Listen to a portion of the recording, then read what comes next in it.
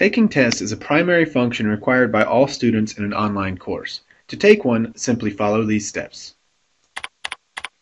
Go to lssc.blackboard.com and log in with your XID and password. The default should be your six-digit birth date.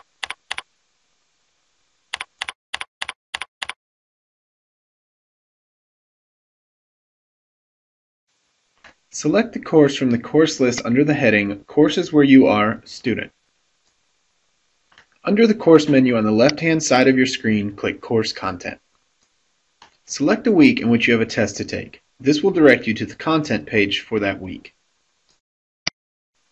Scroll down to the bottom of the content page until you see the test. It will have a small paper icon with a pencil, red X, and a green check mark next to a bold and underlined title. Usually the title will include either the words test or quiz. The bold and underlined title is the link to the test. Click the link.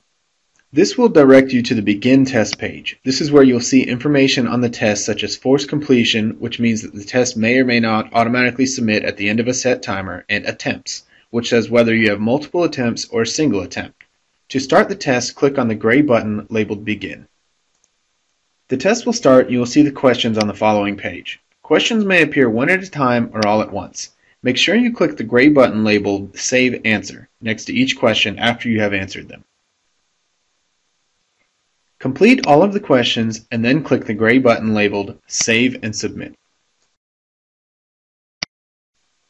Now you should see a page that provides information such as your name, date, time, and how long it took for you to complete the test.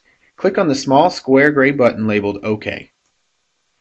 If the test was set to be graded automatically, then you will see your results here. If not, then your instructor must grade it manually before you receive your results. Congratulations, you have learned how to take a test.